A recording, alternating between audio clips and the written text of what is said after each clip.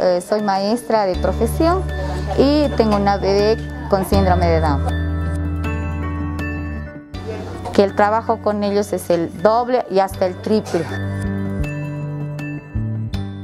Recurramos a los centros especiales para que por un lado ellos puedan mejorar, desarrollar sus potencialidades.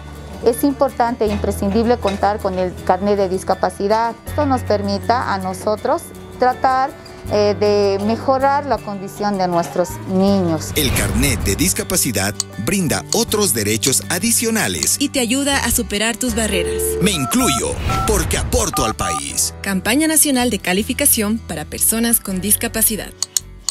Ministerio de Salud y Deportes.